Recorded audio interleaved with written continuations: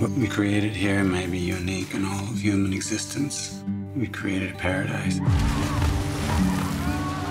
Ben is the father of six children.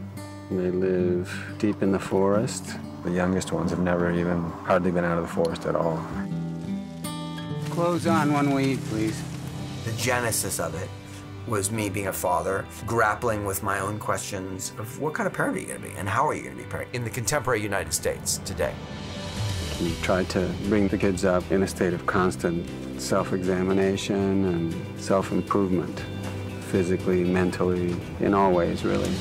Viggo was deeply knowledgeable about living in harmony with the natural environment. I used to live in northern Idaho. That's where I did my preparation just before coming. It helped me to be there two weeks before, making sure I felt like it was real. Lighting the fires, or cooking, or gardening, all the things that they did was realistic.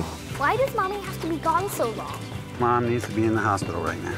The heart of the story of, of Captain Fantastic is Ben's wife passes away. Her parents feel that I'm partly to blame. This is your fault. Leslie had a disease. Wherever you are, stay there. You show up, I will have you arrested. We can't go to Mommy's funeral. We want to see Mom. Grandpa can't oppress us. We leave our little piece of paradise in the middle of the forest to go to her funeral.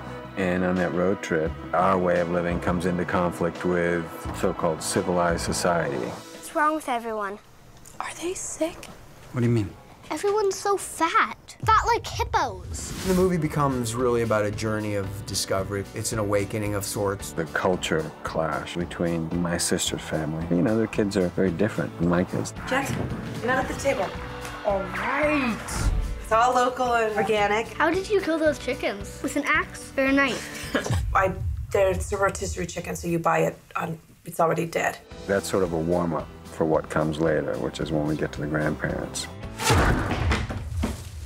That almost hit me. If I wanted to hit you, I would have hit you. Viggo isn't a hero, and I'm not a villain. We're both complicated men trying to work out our differences and how to raise the children. Even if they make it through whatever it is you're doing to them, they're going to be totally unprepared for the real world. And I happen to think the opposite is true. Living in this very extreme way, which is certainly not common in our culture, will probably bring up is what he's doing insane or insanely great? I'm gonna live here with Nan and Grandpa. That's not possible. Come on. Get your stuff. Let's go. Let's go! I hate you!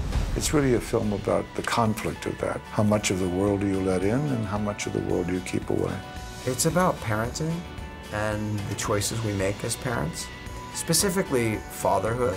The six kids playing my children, not only how talented they are as actors, but how hard they work to prepare. And we've approached all the days of the shoot together as a family. This film feels to me like it could be really a special movie. And it makes for a lot of you know, thought-provoking moments, humorous moments. I sincerely hope you haven't been doing what I think you've been doing. Your daughter has taught me many things just now. Will you be my wife?